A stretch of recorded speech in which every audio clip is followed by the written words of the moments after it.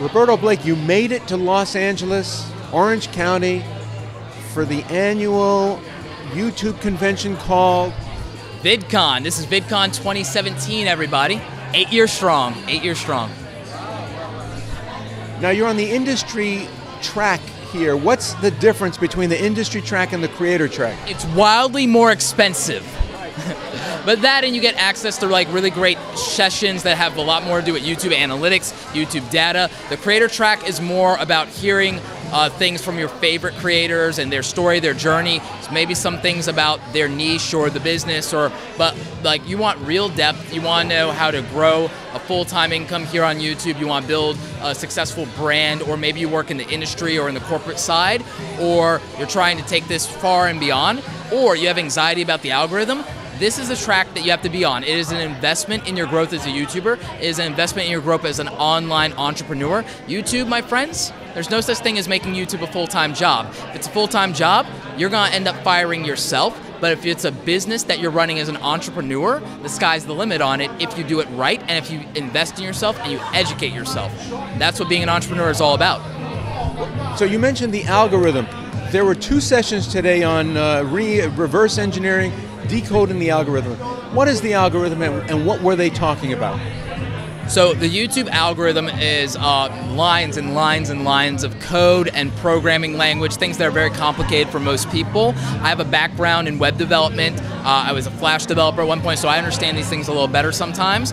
The best way I can put it in English is it's the rules by which YouTube decides to rank and distribute content, and also how YouTube understands the relationship between one video and another. A big focus here at VidCon was understanding the related uh, videos that show up on the right hand side, but also how to trigger recommended videos on the YouTube homepage for viewers because the subscribe box, it's practically meaningless right now. We all are aware of that. So we got some really great information from Matt Gielen, um, from Little Monster Media, and uh, Derral Eves, who you guys know is a uh, YouTube expert uh, from his agency Creatus. And we got a lot of data based on looking at hundreds, if not over a thousand YouTube channels. Uh, they have access to a lot of channels. Derral and his company, they own and manage over 17 channels of their own, and they have like 58 channels as clients, and they have access to even more data than that.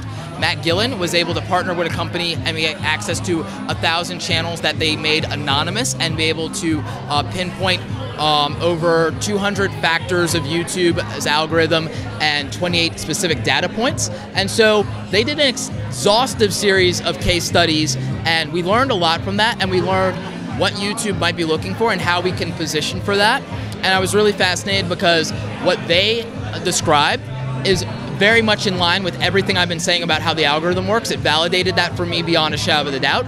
I have access to a couple of channels myself, much less data than them, but for the scale of data they had, it was able to confirm what I've been seeing too in the channels that I manage for clients, the other things that I've been working on and building, plus my experience in doing uh, coding in the past and talking to programmers day in and day out. I talk to people I know in various industries every day. I have clients that are actual programmers, and I ask them questions about what they think and suspect when it comes to things like the algorithm and artificial intelligence.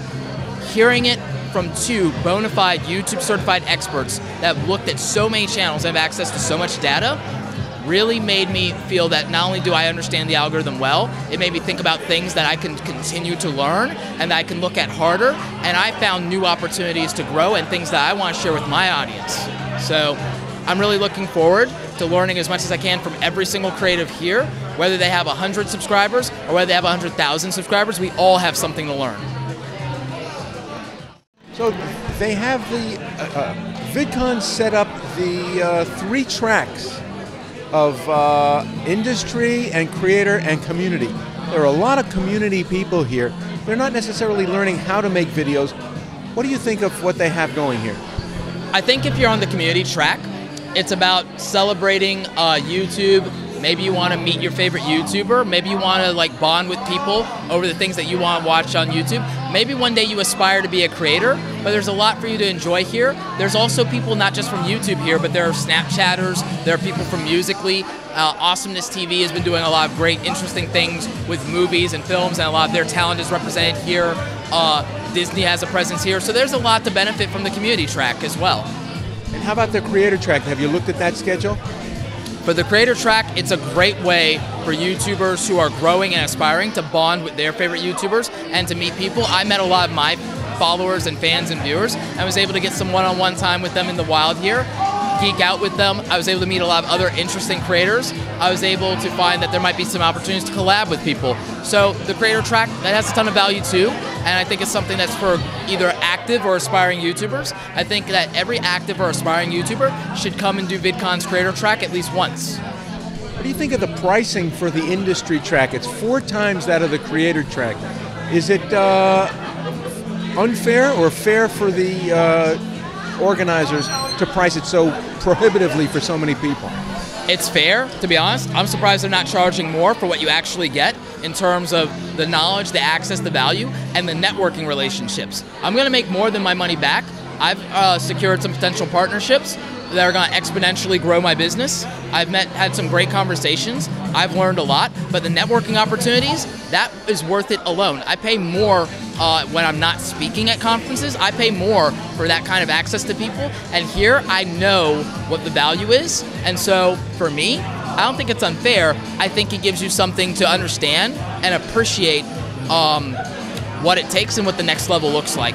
I think it represents that gap. I think the lack of a gap between community and creator shows you how easy it is to go from watching YouTube to doing YouTube, but to go from doing YouTube to being part of the industry is another thing entirely.